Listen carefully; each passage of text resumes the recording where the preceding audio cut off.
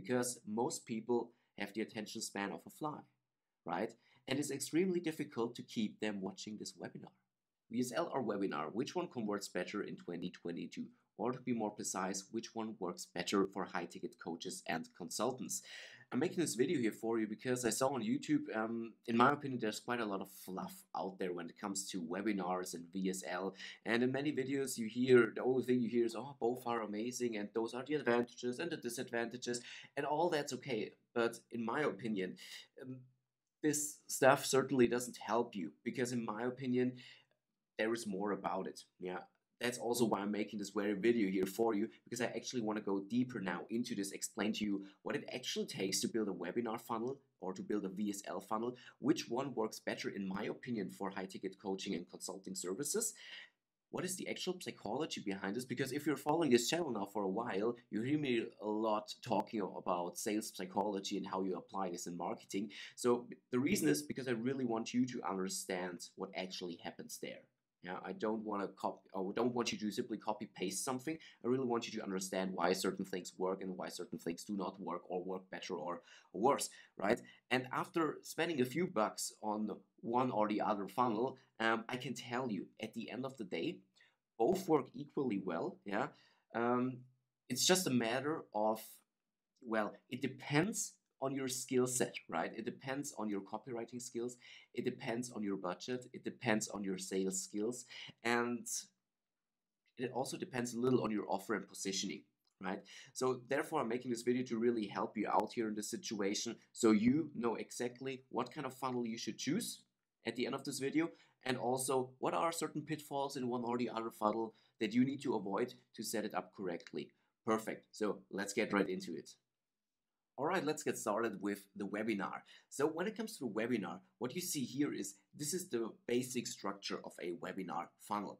So what you can see is you basically run traffic onto an opt-in page, right? You have Facebook ads or YouTube ads, actually it doesn't really matter. You run it onto an opt-in page and people then register for your webinar. What happens then is that you have follow-up email, a follow-up email sequence, right? To warm up people to hype them up for your webinar and tell them, look, remember you registered for this, the webinar will take place at the exact time and date, and so on and so forth, right? Then the next step will be the actual webinar page. If people watch the webinar, here by the way, webinar is usually between 60 to 90 minutes long. I will dive deeper into that later on. Let's just talk about the structure here briefly. Yeah, 90 minute webinar. Yeah, then if people are, are happy and they like the webinar, yeah, you sold them on their webinar, then there is either an application form or a sales page. It, um, it, it, depends if you have a sales process with sales calls behind that. Of course, there's an application page with a calendar, right? If you're just selling a product for $2,000, then there's literally just a sales page. All right, so it is that simple. In the beginning, now we should distinct between there are recorded webinars and there are live webinars. Okay, so what you should choose really depends on your skill set here. I have clients um, who are do doing webin and seminars for more than 20 years. They have a bulletproof formula on how to write their seminar scripts or let's say seminar presentations so they really know how to sell in, in those seminars. Yeah. So if you're someone like that and you really got experience in presenting live in front of people in front of in form of a Zoom call, or something, then I would definitely recommend you absolutely go for an online webinar here that you do really that you do live, right? Not just a pre-recorded webinar. In, ca in case um, you're not used to do live presentations or sell um, live online in form of seminars or webinars, then of course you get the option to do a pre-recorded webinar here. In both cases, the webinar is between 60 to 90 minutes long. And now here's the caveat on this funnel. So now it becomes really interesting. So the thing now is, imagine you're running ads. Yeah? Somebody has to click on your ad. Then he lands on the opt-in page, your first landing page.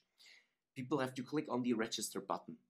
Then they have to enter their details, first name, last name, maybe an email address, of course a unique email address, maybe even a phone number, a phone number, and then they even need to pick um, a time and date when they want to attend the webinar. Next step, they need to read your email follow-up sequences. Otherwise, they won't show up on your webinar. What follows from there is the actual webinar. You already see um, you, you already see we're going down the rabbit hole here, right? Um, you see, it's extremely difficult. There's a lot of friction already in this funnel. A lot of people will already jumped off, right? Now we're at the webinar. People have to watch a 60 to 90 minute video.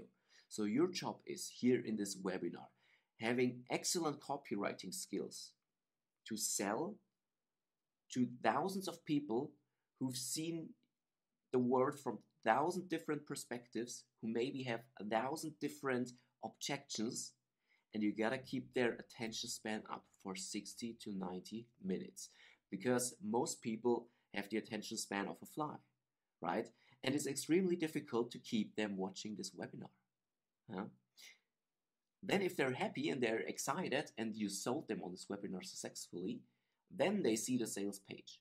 And then they maybe even see the price for the first time. It, it depends if you're already mentioning, you're probably you're already talking about this in the webinar. You should, you should. Then they see the sales page for the first time. They have to enter their payment details and so on and so forth. So, what do you think? How many people will make a purchase at the end of this webinar funnel? You have so many different steps in this funnel. You have so much friction in this funnel. Yeah? And this is the real challenge of a webinar funnel. Yeah?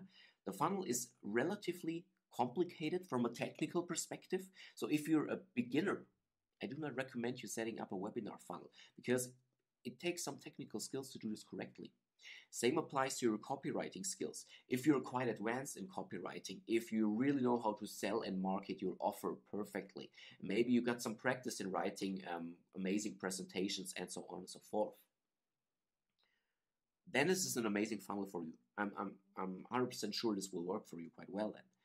But the thing now is, if you're lacking some copywriting skills, or if you say, ah, I'm not 100% expert in copywriting, then it's extremely difficult to write a webinar script that really, really, really converts, that really sells. Remember, you have thousands of different people on this webinar coming from thousands of different perspectives with thousands of objections. You have to handle all those objections in the webinar. Yeah. You need to raise their awareness levels from completely uneducated, yeah, com completely uneducated, so they understand that they got a problem that you need to solve and they understand and you fix their belief system in the webinar. So you show them look this is the right solution step by step. This is quite challenging here and then yeah? But apart from that apart from all these points the webinar funnel can be um, an amazing solution because it's fully automated. If you have um, a product sale at the end of the uh, at the end of the webinar funnel you're selling in an automated way. This is amazing.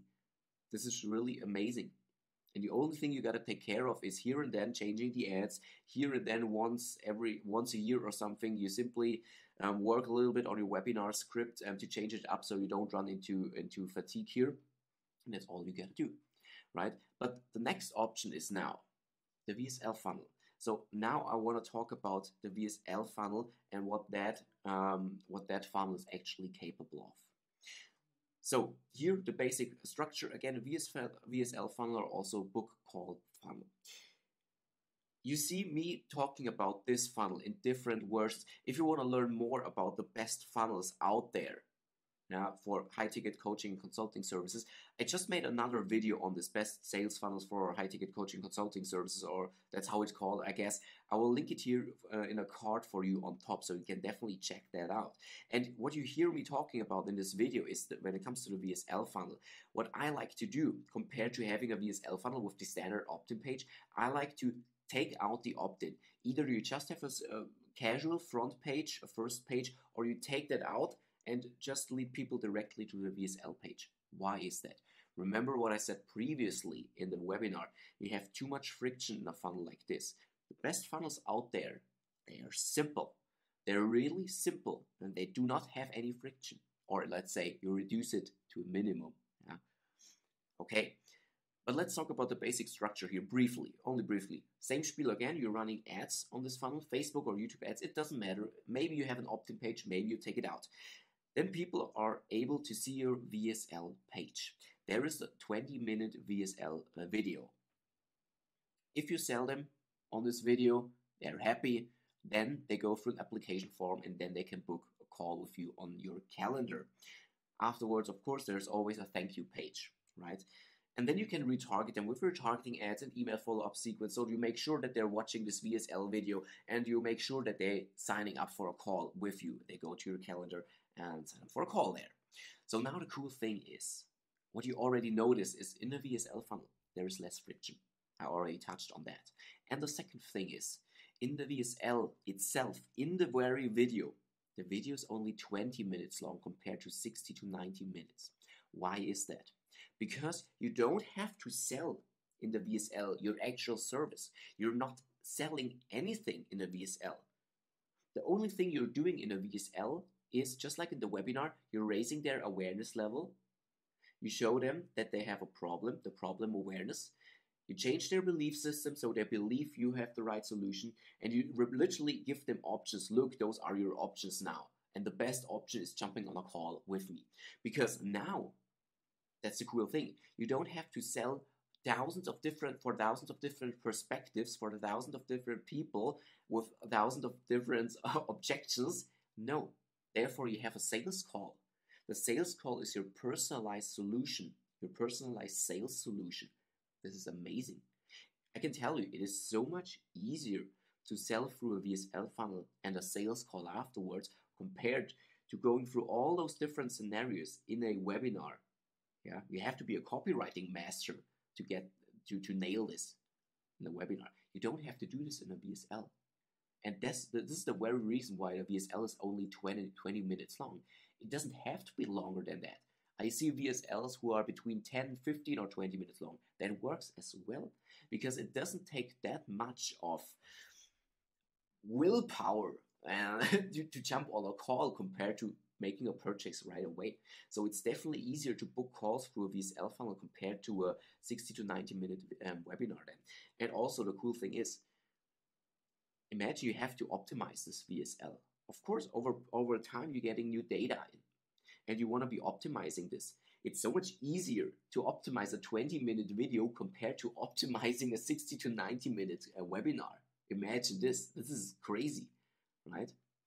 So this is a huge advantage. And you really don't have to be a copywriting master when it comes to writing VSL scripts. It's so much easier to, to get calls booked, yeah, compared to handling all those scenarios in a in a um, webinar then. All right. So those are the most important things about webinar and VSL. When it comes to B2B, if you're a B2B consultant, I highly recommend you going for a VSL. Um, the reason for this is because in the past, everyone used a webinar in uh, B2B and literally everyone in B2B is, or let's say in in-market, in a certain in-market audience is tired of watching those webinars you gotta understand people do not see a VSL or a webinar for the first time nowadays they most likely they have al- they already been through one of those funnels. So you really got to be smart here. Yeah, you need to put this from a different perspective. You got to give them something new. Yeah, and a VSL page or a VSL that is not too salesy, like in a webinar, definitely works better in B2B. All right. One last thing that I want to I want to mention here when it comes to the VSL funnel, the magic, as I said, the magic actually happens on your sales call. Yeah, this is very cool, therefore it's relatively simple to get a VSL off the ground. Yeah, the magic happens on a sales call, but there's one caveat. If you're scaling those funnels, yeah, you also got to scale your sales team.